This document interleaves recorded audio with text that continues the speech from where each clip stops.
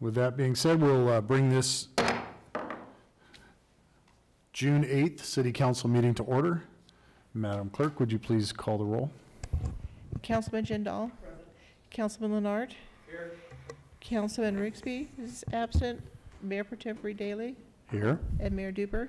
Present. Thank you, we have a quorum. Thank you. And I think, believe we have a report from the city attorney. Yes.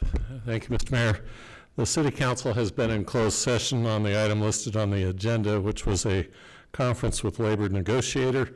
Uh, The council received a report, gave direction. There's no action to report at this time. Thank you, sir.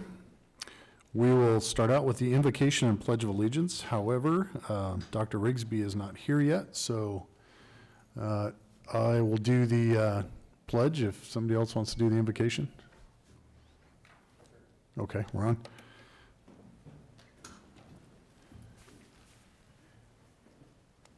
Please bow your heads. Father in heaven, we thank you for the many blessings you continue to provide us. Thank you especially for the privilege that we have to be part of this small community um, and all of the benefits that we reap from being uh, part of the Lord. We ask now that you bless this meeting, guide our discussions. We pray for your guidance in the decisions we make. Amen. I pledge allegiance to the flag of the United States of America and to the republic for which it stands, one nation under God, indivisible, with liberty and justice for all. Okay. Thank you, Ron.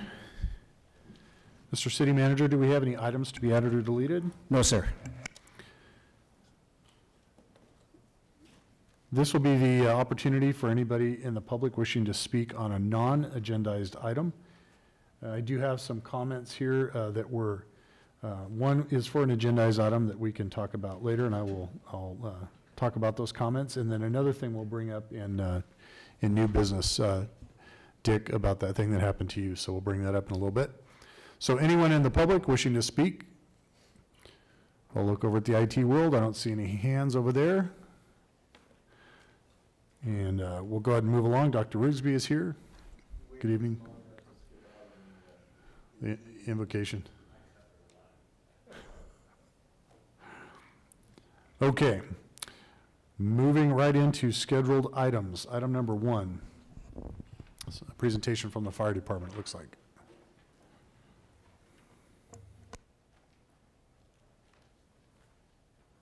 Good evening, council, city staff, citizens. My name is Tom Ingles, Fire Marshal, City of Loma Linda. I'm going to do a brief uh, presentation about uh, some training some of our department members recently went through, uh, through Safe Kids Worldwide. They became uh, certified car seat technicians. It's something that was on my uh, to-do list.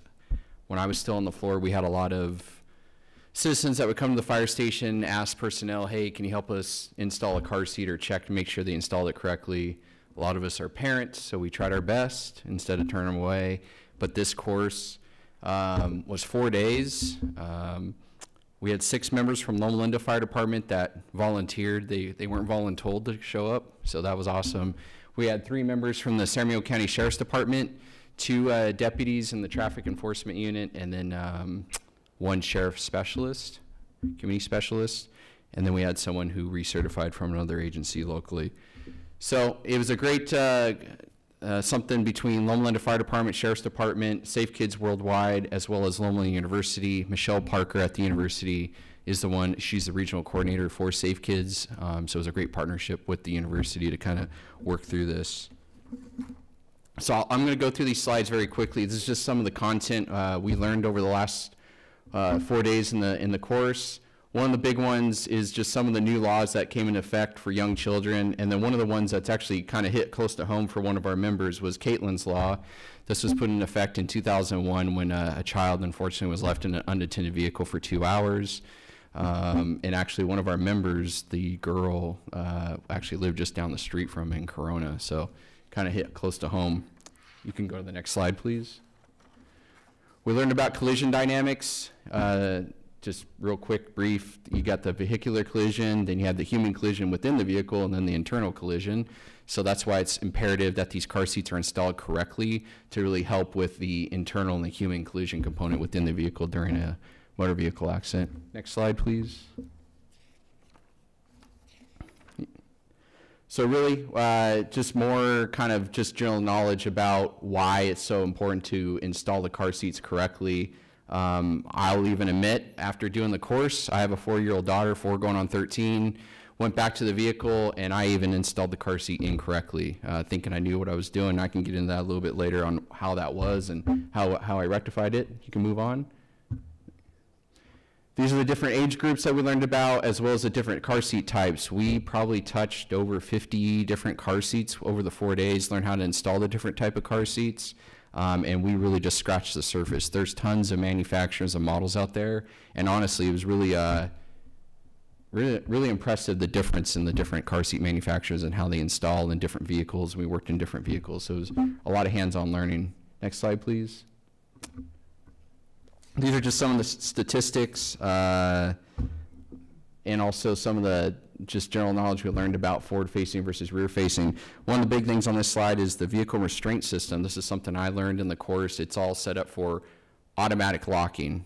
So when we get in an accident as an adult, it locks up for you right away during a car seat, or excuse me, during a motor vehicle accident when we install these car seats, we actually learned that a lot of, well, pretty much all cars nowadays, they can, you can um, change the function of the seatbelt.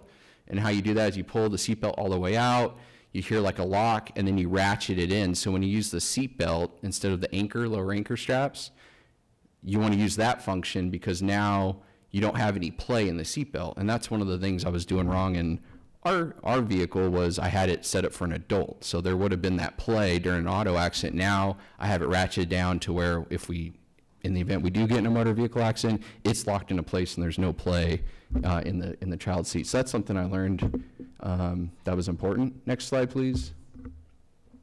Something else I never knew that car seats actually expire.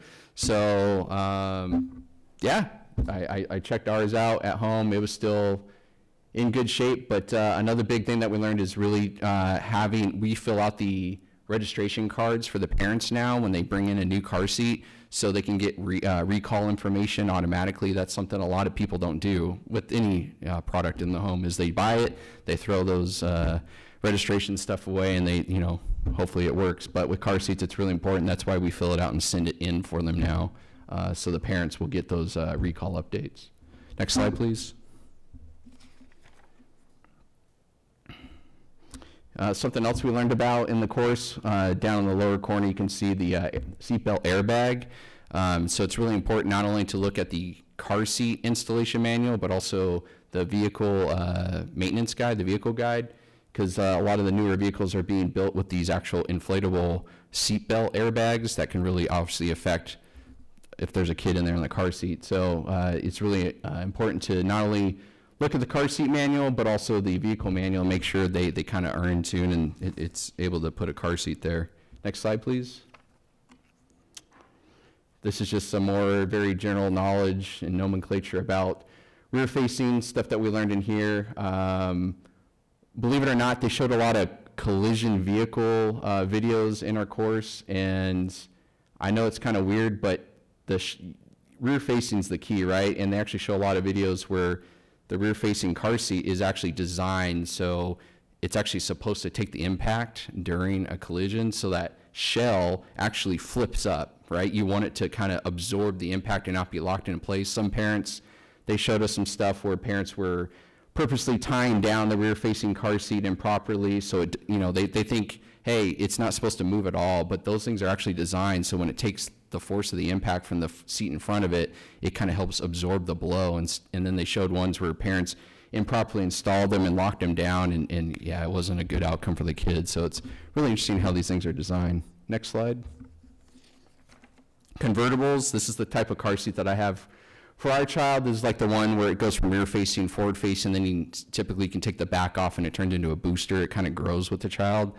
The thing I did wrong is there's uh, uh, a term called latch, and it stands for the lower anchor tether So you have the, I always thought the lower anchor straps that usually come with the car seats and a lot of newer vehicle, uh, uh, have like the anchor strap areas in your car. I thought that was the best, you know, option, but those are only good for up to a certain weight. So our child actually exceeded the weight for that after digging more deeply into the class and into our car seat uh, booklet. So then we reversed it to the car seat belt. Um, so after all these years, I guess our daughter was improperly installed as well, so it helped at home. Next, next slide. And again, this is just more basic uh, information about what the combination can do versus a, uh, a booster seat. Um, they really push uh, in, in the class to keep the kid in this type of combination seat as long as they can. Even if your child is ready to just have a booster seat, um, the combination seats are really great because it also helps with the, the harness. So you got the five point harness versus just a seat belt. And then also you have the head protection for the child. Next slide, please. And then they also taught us in the class about the five, uh, five-step test. A lot of parents are very eager to move their child from a car seat into the, into the big kid seat, you know, just a regular uh, car seat. So we really uh, talk with the parents about the five steps to make sure they're old enough, the weight requirement, they're big enough to do it, and if they can sit still. A lot of kids are still squirmy, and I know when I was a kid, I used to put the, you know, the um, chest belt part of it around my, you know, uh, the back and that kind of stuff because it used to rub my neck. So you got to really make sure not only the kid, you know, meets the size criteria and the weight criteria, but also they can sit still for long periods of time. And the common misuses, we kind of learned about that. Uh, a lot of parents, uh, we did it as well, where you put in some of these aftermarket devices like mirrors, um, that kind of stuff. Again, we saw a lot of videos in this course where those things become flying projectiles in auto vehicle accident and uh, motor vehicle accident, sorry, and, and, and injures the child. So they're really big on just keeping the car seat as it is, not using aftermarket devices like the uh, a lot of places sell extra padding for the harnesses, but that actually uh, prevents it from getting a good snug fit. And there's also been uh, instances where children have, you know, suffocated from having too much bulky items around them. So, and the expiration date's a big one too. I, again, something I learned. I didn't know car seats have an expiration date, but sure do. And of course, last but not least, every parent's always going to ask, what is the best child safety seat? And these are the three things that we always kind of walk through the parents what's the best for you, the child, and the vehicle, and what's going to stay with them and make them safe. So that's what we did for over four days. Um, the requirement now for our department members with the sheriff's department ourselves is we have to do two car seat events uh, every two years, and then we have to do continuing education, keep our certifications up. So I think it's a big benefit for the community, uh, for PR events, and it's also when people come to the fire station and ask for us to check their car seats. Any questions? Thank you, sir. Well, it's uh, very timely, um, given my predicament. Oh, okay. Well, let us know, you know, bring your vehicle over, we'll, we'll, we'll- check it Yeah, out, so. Yeah, I'm I'm gonna. Okay. If- If you don't know, well, my wife just found out she's pregnant, Wow. well, about four months ago. So, yeah, a little bit of an age gap between the 13-year-old and the new- one, but cool. Yeah, we're, we're happy to help. Bring- Come by the fire station, make sure that thing's installed properly. Sounds like I'll be there. This, this is good. Yeah. Do you have uh, copies of that literature by any chance, or no? Yeah, I can absolutely forward you this, uh, PowerPoint. Okay, cool. Thank you. Yep, thank you. Okay, we're going to move into a public hearing, Council Bill R 2021-20, uh, approving our annual report for the uh, Landscape Maintenance District. Have Jeff Peterson to present this item. Jeff? Don't know how you follow up with that. I'm a boomer. I stayed in the back shelf of the car, sometimes in the floorboards. Still here. Don't know how that happened. It kind of does. Um, Again, 20th time, Landscape Maintenance District. Uh, This is the uh, opening for this. You've already seen the uh, draft budget. It hasn't changed much. Uh, We're still looking at a balanced levy. The city is going to contribute nearly $100,000 as general benefit as well as some of the annexations that we are responsible for. You'll notice that it's almost two hundred thousand dollars for maintenance, uh, hundred and eighty for the utilities, that's water and electricity. And then we have capital, uh, improvements. Uh, nearly half of the seventy-six, uh, annexations are either self-maintained or not ma, or there's no maintenance required, excuse me, required. And that is, uh, because the level of service that is enjoyed by our contractor, uh, the lowest uh, bid, is not to the satisfaction of the homeowner association, and they choose to have a little bit uh, nicer uh, landscaping than we are providing, and so we, they have the option to, they opt out and uh, maintain it themselves. We still keep the landscape maintenance district itself uh, in the background. If there's ever a, a problem with the HOA, we can come back and, and assess and take over again. Any questions? Yes, sir. My question is, um, given that we have differential rates for landscape maintenance and equal quality throughout our insti, throughout our entire city for landscape maintenance, right? Correct. Um, Is there a requirement for a vote of the people to reduce the fees of those who are overpaying relative to those who are not paying much? In, in the report, you'll notice that the first 50 annexations did not have a COLA, uh, uh, CPI adjustment. And so they were set at the rate that they were set many years ago, and we have not had the opportunity, nor will we have the opportunity, to change those rates without going to a vote of the people. And that could be a vote of that particular group, or it could be a vote of everyone. And what we found is, on the landscape maintenance district itself, when it was originally set up, there was one set of rules, there's a new set of rules now. I have, we've taken straw polls, and we can take one today, and I haven't found any group of individuals who wish to raise their taxes upon themselves.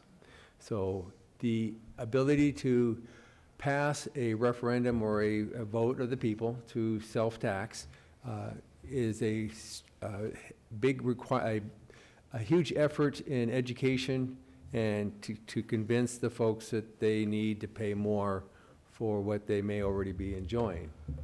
Um, Then we found that there's a potential that more than just those people in that group are enjoying the benefits of the landscape. That those that are passing by may also be enjoying the benefits of the bat, of that. And so then we have to ask ourselves, do we put this vote out to everyone who would enjoy it and therefore need to pay? Or do we leave it as it is, save the cost of the studies and the cost of the education, the outreach, et cetera? Uh, And already we have a general benefit of about hundred thousand dollars that the city contributes. So are we going to gain anything with the potential passage of a self-tax? Or are we already paying that? And we might as well just leave things as they are without rocking the boat? Follow-up question. My next question is, what if we decided to just unilaterally, as the council, eliminate all landscape maintenance districts and put the whole thing on the general fund? Would that require a vote of the people to untax themselves? Or could we just do it unilaterally without a vote? And if we did it, how much would it cost? Well, the current cost is about a half million dollars a year, and the. For the whole city? For the whole, for the annexation districts. Yes. The, the whole city is not burdened with an annexation district. There are some parts of the city, the older parts of the city, that don't have any. So that currently, they do not pay any special assessments. So if you choose to do it this other way, you'd have to incorporate that, that into your general budget. And if there's three out of five or better, then I believe you can spend your, this, the tax dollars as you see fit. See, I'm, I'm concerned about the Fourteenth Amendment, equal protection under the law. And um, I just think it's kind of odd that we have some people from other districts that are essentially getting not a free ride, but maybe a three-quarters ride, and everyone else is paying full fare, and that's not equal protection under the law. I just wonder if we could find out how much it would cost if we just eliminated the, this, this unfair distribution of burden by taking it on the general fund. I just wonder how much it would be. Uh, on Is it, is it, is it half the general fund, or is it one percent, or what, you know, what, how could we? Page 17 Yeah. indicates that it's $517,000. But is that just for the ones that underpay and have to be subsidized? Or No, is that for that's- everything? That's ci- everything. Citywide, citywide, City, that's every, okay, that's everything for the current 76 annexation districts. okay. And we're underfunded by about a hundred thousand? There is a $100,000 general fund Yeah. burden, yes, sir. Out of 190 that 500, 400 is raised by the annexation districts. Correct, And 100 comes from the general fund. correct. So it'd be an extra 400,000 to relieve everyone of the burden. Yes. Okay, just wondering. Thank you. Any other questions from the dais? Okay, we're going to open, open the public comment. Any members of the public wishing to speak on this item, please step forward. Throw up your hand on Zoom. Seeing no takers, we will close the public comment section and I'll entertain a motion.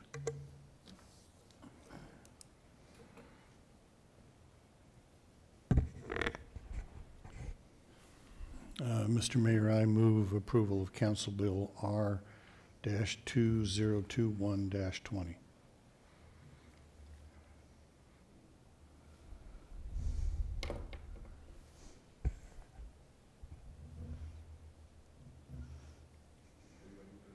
I'm waiting for a second, but, oh, well, right on. I thought maybe, I thought. oh. I thought, I thought this might just die on its own, and we'll have to come up with the general fund money. Okay, we have a first and a second, Madam Clerk. And the motion is to adopt Council Bill Number R-2021-20, approving the annual report and assessments for Landscape Maintenance District Number One for fiscal year 2021-2022.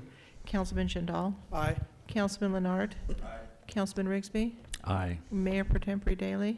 Aye. Mayor Dupper? Yes, Thank you. thank you very much. Moving on to the Streetlight Benefit Assessment District. Hey, Mr. Peterson, welcome back. That last report was just simulated. I don't know if I can follow it. And I have the same question for this one. This one is a little different, though. Uh, This one does balance. Uh, The cost is three hundred sixty-one thousand, uh, almost three hundred dollars. It covers the entire city. It's for streetlights. Uh, The cost is slowly going down as we change out from high-pressure sodium to LED lights. Uh, More than half of our lights currently are owned by SCE, and we own the other half. Uh, So it's that, that half that we are able to have more control of, and that, that's what we, this one is covering. And we are doing our best to enjoy the benefits of LED lighting. Uh, One of the benefits is they, it costs less, and we don't have to maintain them as often because they last longer. One of the lesser benefits is we have to space them a little closer together. They don't reach out. They don't have the bleed over that the high pressure does. It's a very definite light. It goes for a certain space and that's it. So as soon as you get out of that, you're out of, you're in the shadow. So we are currently spacing them uh, about 60 feet closer than we do the high pressure sodiums. And the cost though has come down tremendously. Since I started this program, they were in the five, six hundred dollar range, now they're, they're in the two hundred dollar range. If there's questions, I'm available. And I may be back. So if we wanted to increase the number of streetlights, say I wanted to increase the streetlights in District Number One, who would pay for that?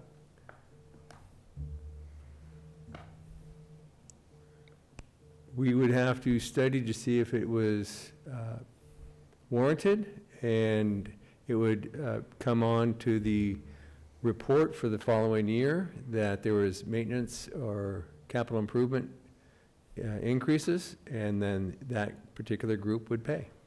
So we would not unilaterally go out and decide that they need it. They would have to request it. Got it. So say it's in assessment district one, would only that assessment district's uh, prices go up? Yes. Thank you. What's the, real quick, uh, what's the threshold and the amount of people that would request it? Well, it Just- has to be fifty percent plus one. Question. Uh, We have been working to transition for, I don't remember, several years now to the LED lights from the, uh, the pink lights that we've had Yes. for years. And we're nearly What- there. Yeah, so where are we at in that process? I believe we're 80, 90 percent. We're nearly there. Okay, good. Yeah, we pursued it to the So point where. approving this budget will facilitate that transition or complete it? Continue doing it. Can, can I ask a question relative to that? Continue doing it, the, replace the light bulb. You, you may notice that the assessment for every purchase, every parcel is similar, fifty-six dollars and fourteen cents for the, oh, there's a few that are a little bit less. Okay, never mind. Thank But you. most of them are fifty-six fourteen.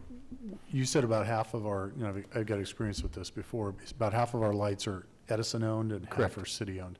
Yes. And when we talk about the changeover to LED, is we're 80, 90% compliant with the city? Us, yes. Okay. The ones we have control of. And then what, what are the, what are the options in working with Edison for that? We, we are, we will continue to work with them. Well, and additionally, the LED lights are more efficient.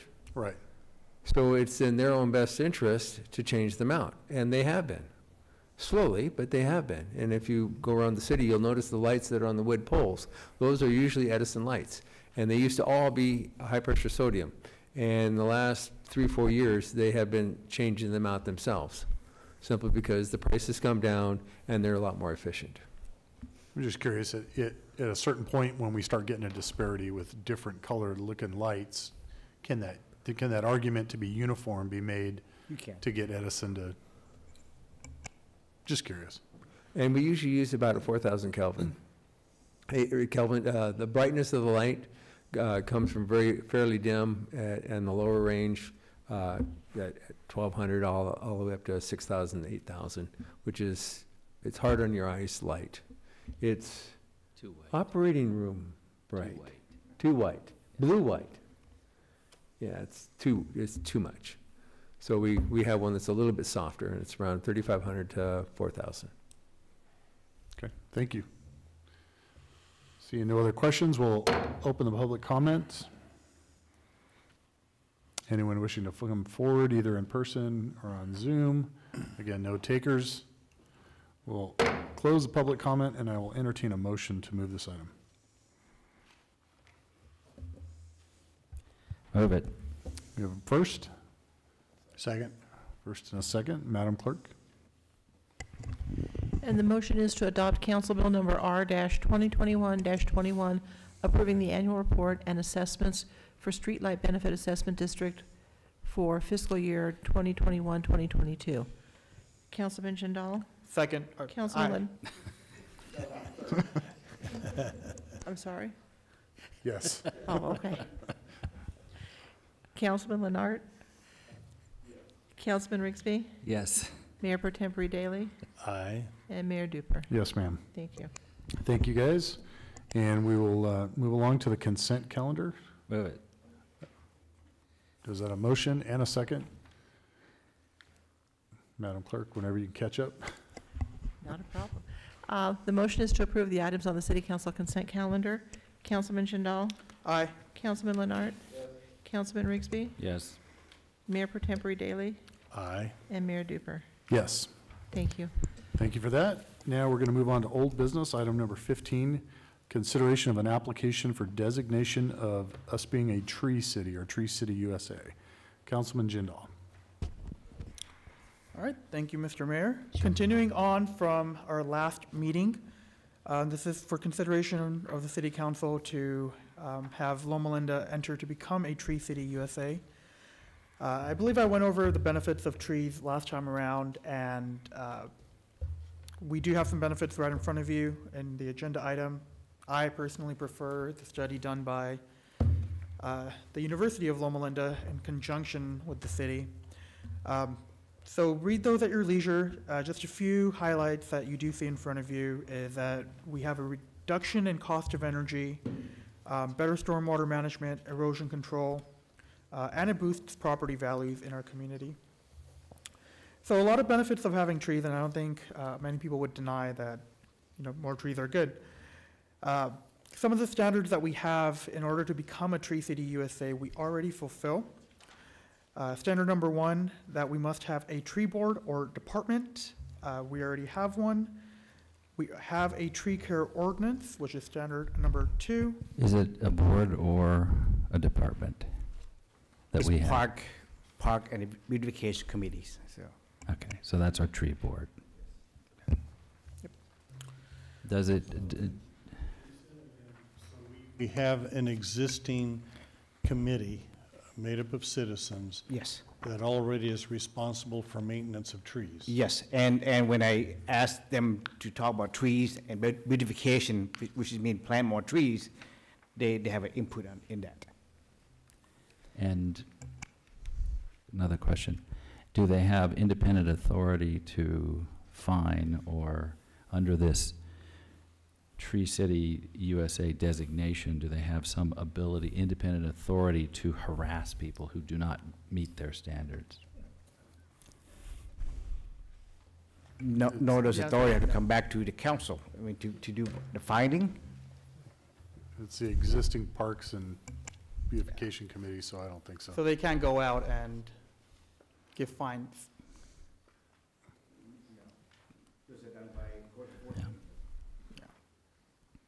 So, so there are codes that, uh, that have to be met in terms of what trees are installed and where? No, sir, the, the code have to do with the tree trimming, and that, that came from the California JPIA, Joint Power Insurance Authority, that we have to make sure that we keep our trees pruned and and maintained.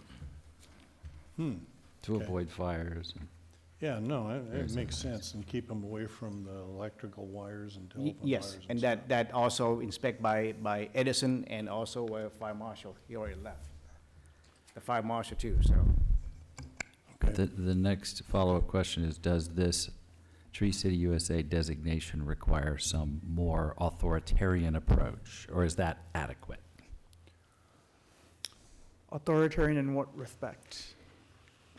Telling people what they have to do beyond what we currently do? No. Okay.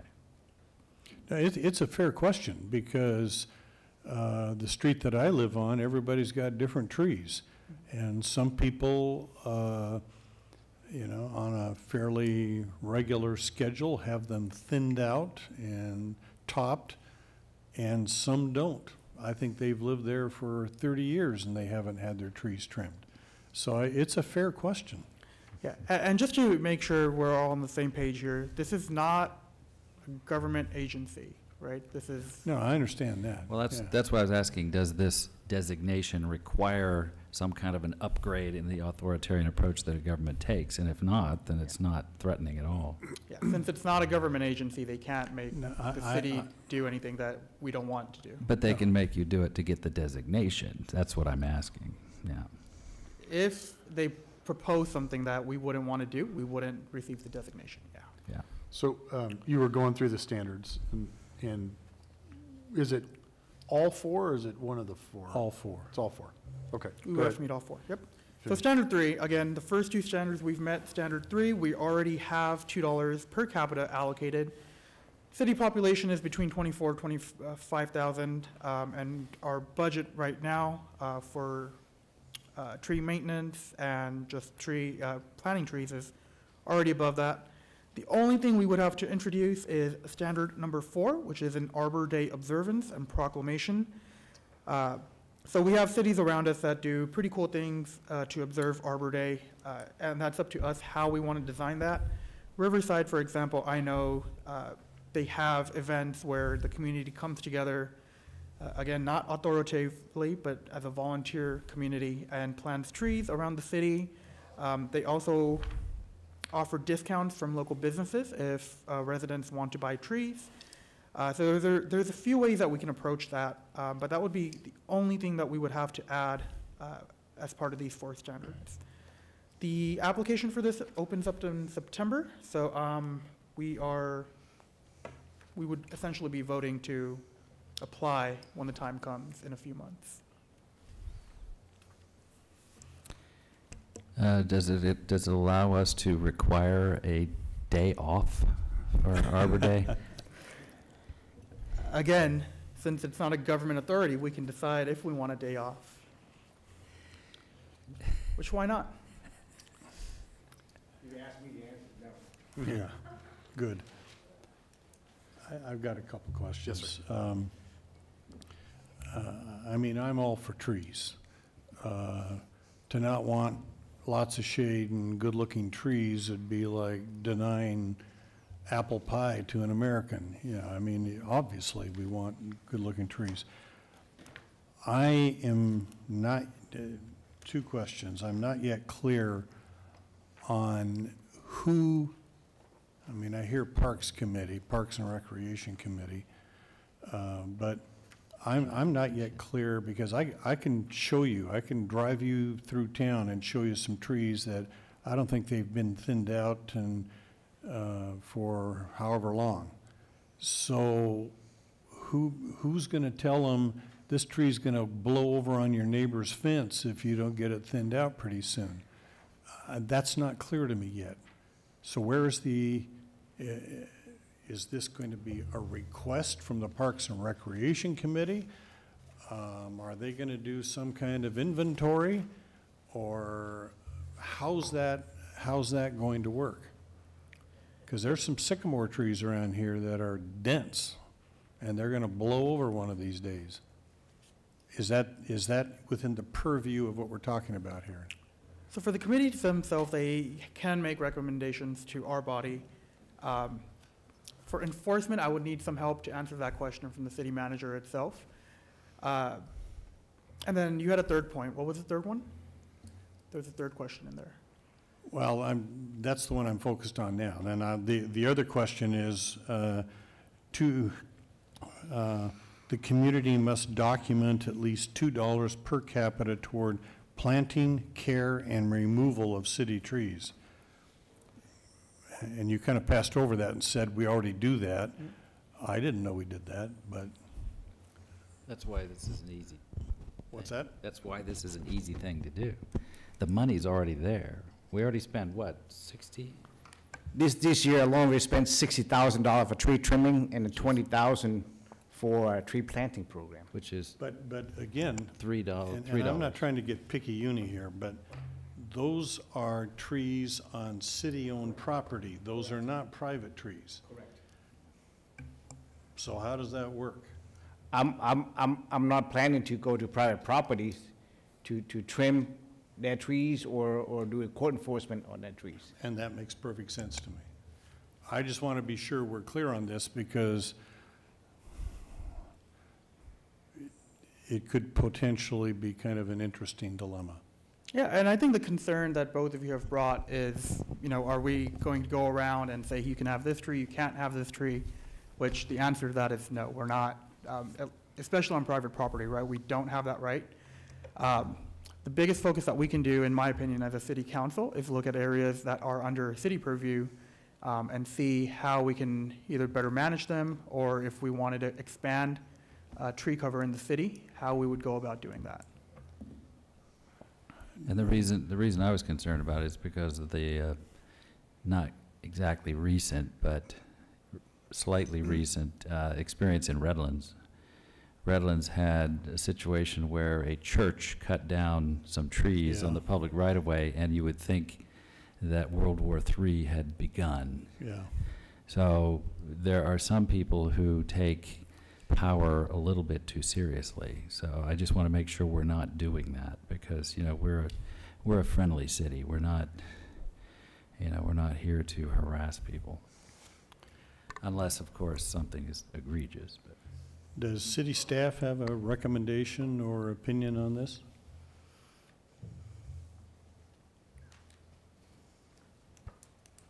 Let let me, Ultimately, it's gonna Dr. land on Lenart's your got a desk. couple of comments real quick. I was just gonna say, this kind of reminds me of the Paris Climate Accords. Um, We were doing better than any country in there, so, and we pulled out, still doing better than any country in there. So I guess I would ask, why would we need to belong to an organization when we're already doing all the goals of the organization better than is required by the organization and opening the door for the organization to come and start giving us recommendations? So And I'm always worried about, what does something cost? What is it eventually gonna cost? What's the downside for it, and so forth? And I, I haven't heard what the real advantage to this, just so we can go out and say, I'm Tree City, It's performative, huh? performative, Performative. yeah. What? It's, it's, uh, Virtue signaling. virtue signaling is the, is the synonym for that, yes. People, I, it, that's got a negative connotation. I didn't want to say that, but that's, But it's- that's, but it is what it is. kind of paves the path. I, I think I would have two more answers on that. First of all, uh, they're not coming in here to tell us what to do, but they do offer grants, uh, which I think would be beneficial for the city if we wanted to go the route and, um, you know, in- increase our tree cover. Second, I look at it as, as our blue zone designation. I mean, that's something that city residents are pretty proud of, of having. And I think this goes well in that conjunction, right? Because having trees means a healthier community.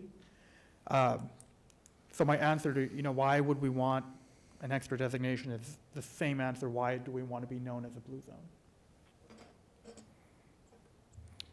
So I'll, I'll weigh in with just a couple of comments. I, I don't think it's anything uh, detrimental. I mean, it's, uh, we're, we're looking for a designation uh, from this organization. I don't think it changes how we do business or, or at least at this point, we don't have to change anything. Um, And then obviously, as things come up, we could always reevaluate if that runs afoul of our, of our thought process. But I'm, I'm supportive of it because at this point, I, I don't think there's anything negative that I see. So. Do we take a vote on it? All right. Let's take a vote. Do we have a Is it- motion? Is it a s- straw poll or? I'll take a motion to, uh, whether or not we support this. Cool. I'll move. Okay, we have a motion?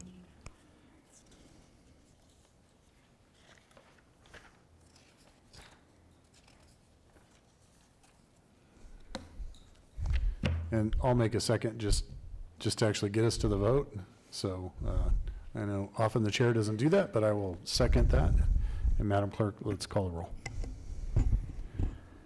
And the motion is to uh, make application to, for designation as a Tree City USA. Councilman Jindal? Councilman Lenart? No. Councilman Rigsby? I'll say yes. Pardon? I say, I'll say yes. I, uh, I just want to comment that I, I really appreciate the input from Mr. Sonnentag. I think he's done a thoughtful job. And I think uh, we've answered his concerns, and, um, you know, he may tell me he disagrees, but I, I don't think that this does anything to ramp up authoritarianism in our city. I think we're safe, so I'll vote yes. So that was a yes. Okay, thank you. Mayor Per Tempore Dailey Aye. and Mayor Dupper? Yes.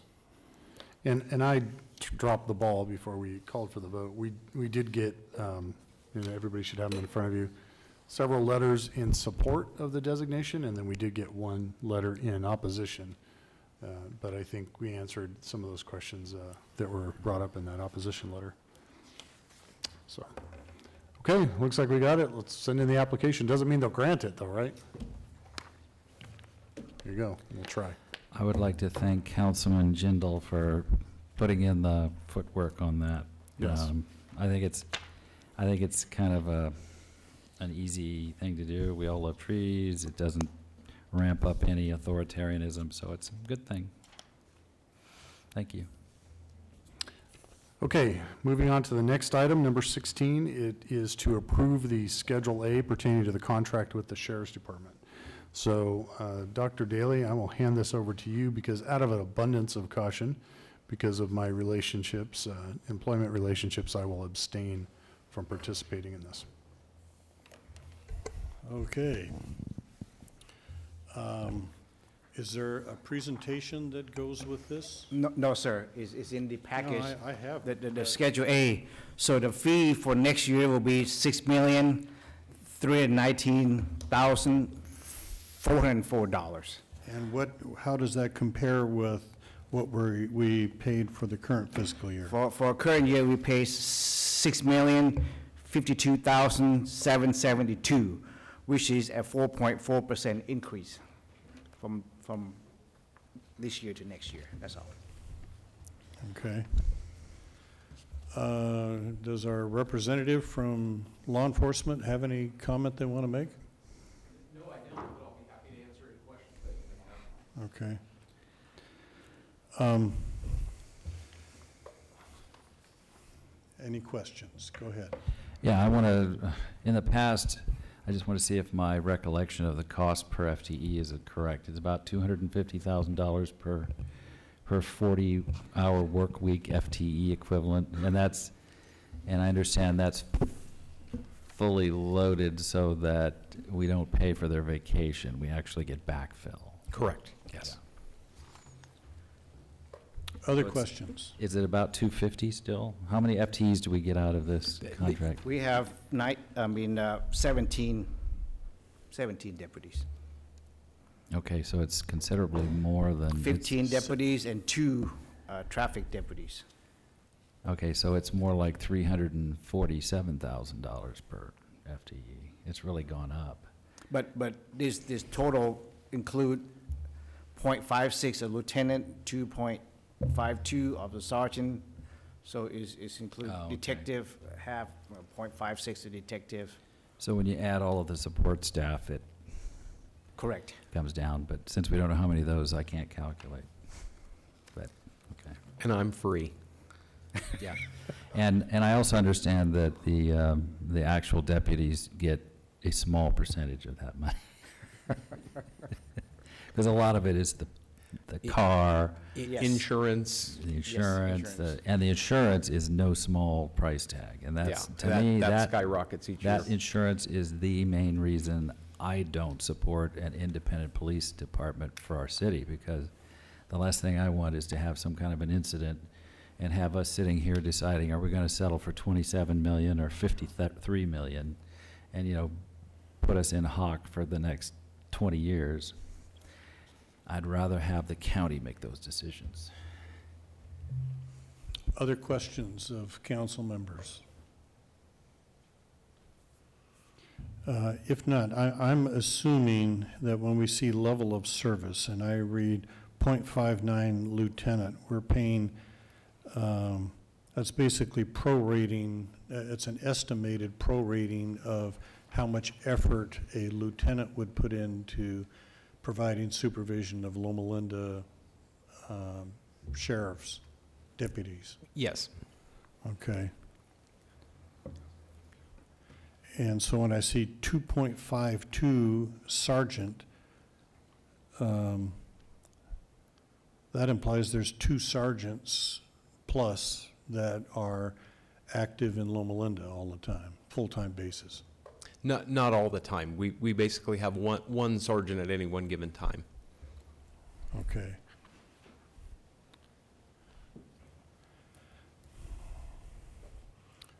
Okay, any other questions?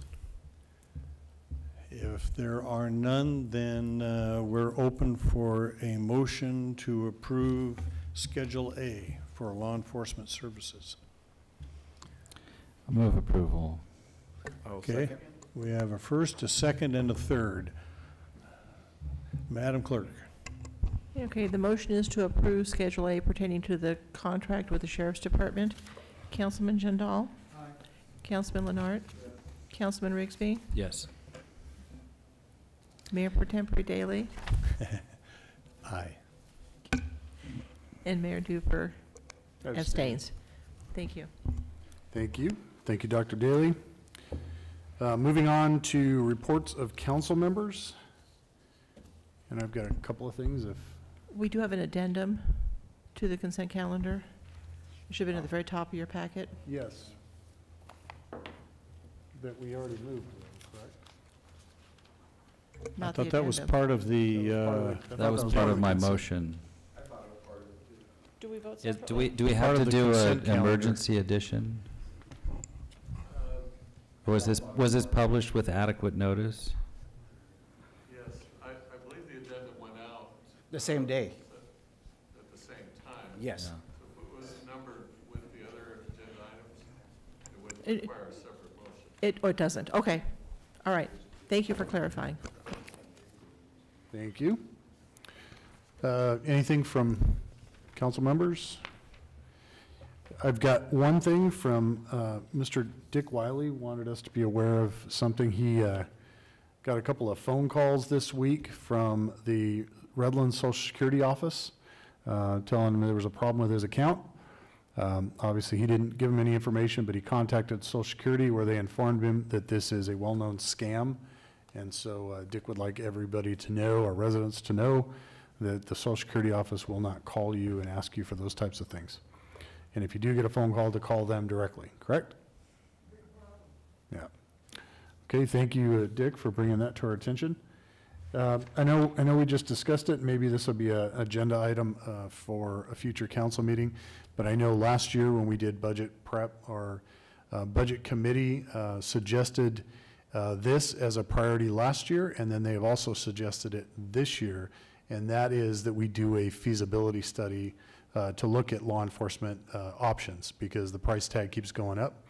Um, And so I think at some point, we need to do that, because that's been a request from um, internally now for two years. And so uh, we may have to make that an agenda item for next, next council meeting, where we hire a, a company to come and do a feasibility study for us. Because I, I listened to the comments and questions you guys had, and we can probably figure out how to answer those. Any ballpark figure on how much those studies cost?